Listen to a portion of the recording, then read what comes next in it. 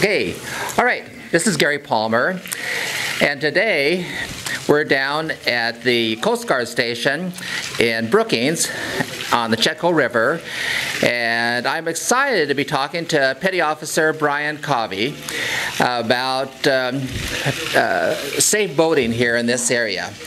And Bryan, Julie and I are fanatic fishermen here at the Oregon Coast, and the audience for, uh, for our podcast also are the same. We're always concerned when we cross the bar and go out in the ocean, and especially a bar we don't know.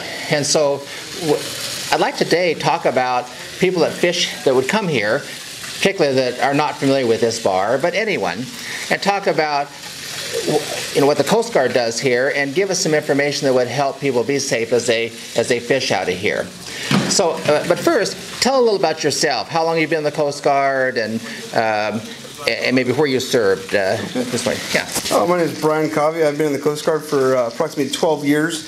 Started out my career in uh, Sheboygan, Wisconsin, at a small boat station. Yeah. Did four years there, and then I transferred from there to uh, Morro Bay, California, uh, surf station down there, and I was there for seven years. And I've just uh, arrived here in Chetco River just about a year ago. So awesome, awesome. So, so what um, what what are the things that if someone's going to launch here uh, and they're going to go out across, what what would you like them? What interaction would you like them to have with the Coast Guard as far as like radio protocol? Do you want them to call and say, you know, we're going to go out and we have two POBs and we uh, or, or do you want them just to check the lights and just go out and then what what, what would you like like people to do? There's a number of different things that uh, that you can do. Um, one of the the easiest thing is is to call the station on the telephone and ask what the current bar conditions are. Ask if there's any restrictions on the bar or anything of that nature, okay. and then uh, just be really aware of your surroundings. There's uh, flashing lights at the boat ramp. We have flashing lights uh, at the station, they're, they're rough bar lights. So when that bar is getting rough or it's restricted in any way, uh, those lights are flashing to warn you. Uh, we also put a broadcast out whenever that bar is restricted on channel 16. So we really, really strongly advise mariners to uh, monitor channel 16, and uh, then you'll hear, you know, they'll say for information concerning the Chetco River bar, switch and listen to channel 22. And you'll switch over to 22, and they'll give you those current conditions on what's going on. But um, really, I mean, just just be really involved and call the station. Don't hesitate to ask. Um. We'd rather have you do that than go out and cross a restricted bar or get yourself in any kind of danger. Right. And we really, really also love to see people wearing their life jackets when they when they cross the bar for uh, safety. Good. Okay. Good idea. Good idea. So when someone crosses the bar here, wh where's the channel? Where where should they stay as they go out across?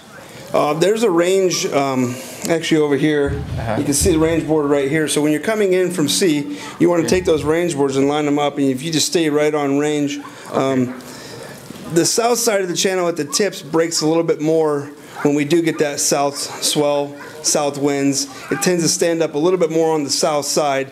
So if you're following range coming in, you could also follow range going out if you just look behind you, you could do the same exact thing as you come in and line up that range. But it, it tends to be towards the north side of the channel, just a little bit more is, is where you want to stick to. Okay, okay. And then when someone goes out, should they head out to that first can, or can they turn off to the right or left as they as they get out across the bar? Uh, we always recommend that you at least go out to the uh, entrance buoy. Safe water buoy would be the uh, second buoy out here. It's a CR buoy. Okay. Um, vertically striped, right? Um, okay. Red and white. Okay. And uh, that just really determines that you are in safe water. You're in deep enough water where okay. You're not going to encounter any breaking waves.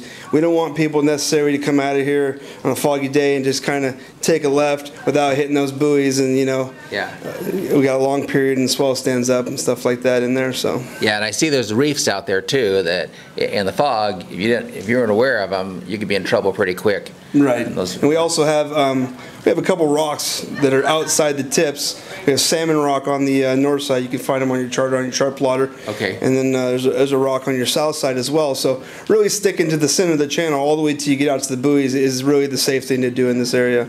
Okay. Okay. Great. Okay. What um, what kind of equipment do you have here uh, for your uh, boats that you that you uh, we operate approximately two motor lifeboats out of uh, Station Chetco River, and we have two small 25-foot response boats.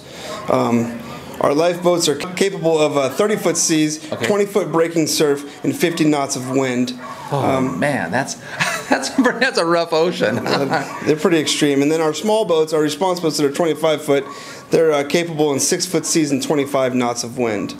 Wow. Uh, we also operate a motor lifeboat up in Rogue River, as far as well as a uh, 25 foot response boat up there as well. Okay, okay. So i- if, if somebody gets in trouble out, say they, they're uh, taking water on or something, uh, or they've capsized, what, what, how long does it take you to get out there? to, Uh, say, say they're out by the second, the second can out, out there. It really varies. Um, it'd be hard to give a, Yeah. a hard, steadfast Every- every- time. yeah. Um, it depends on weather conditions, Sure. you know, fog, what the sea conditions are doing. But we have typically a pretty fast response.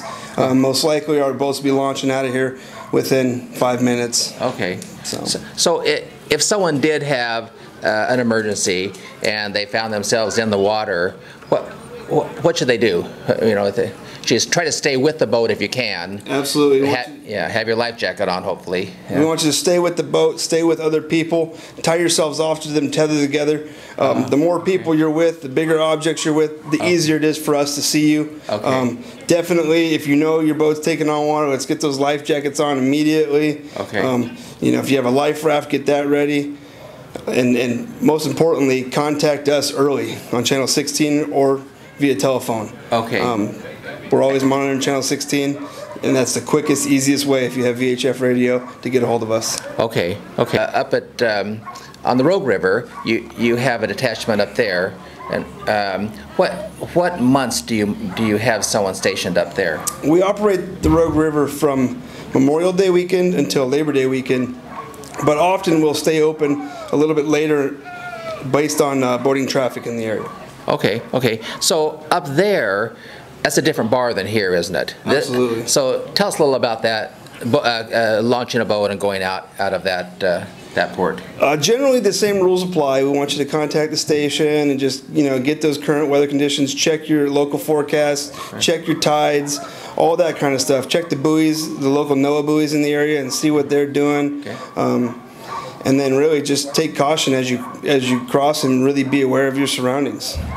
And up there, there's a much greater chance of that bar being closed than this one, though, isn't there? Right. So, Um, and- we recently dredged up there, Oh, and it seems like it has um, made the bar passable quite a bit more. However, that bar is shallow. It's really shallow, and uh, unlike Chetco River, where we face almost due south, so it takes really a south swell, south wind to really kind of make this bar snotty. Right. That bar up there is, is not facing that direction, and and with the with the shallow depths, it does cause it to stand up Right. quite a bit more.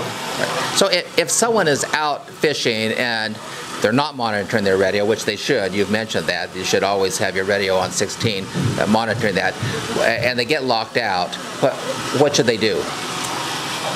Um, If you have a cell phone, call 911. Yeah. Um, if, if, if you're frequently, you know, fishing in these areas, I suggest that you uh, program local Coast Guard station into your phone prior to going. Oh, that's a good And uh, it's always great to have a backup radio. Yeah. Get a handheld radio on board because you never know when you're going to lose electronics on your boat, and you can just turn on that handheld, and it's going to make a world of difference for you. Right, right. And, and but but if they and also that's actually a really good thing to have that that number in your cell phone, right? So if that radio does fail to do that.